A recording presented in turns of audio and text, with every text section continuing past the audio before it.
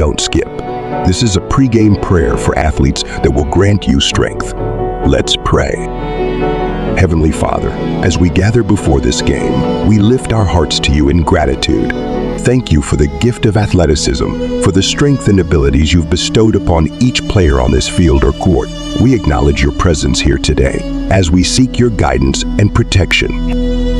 Guard our bodies from injury, our minds from doubt, and our spirits from.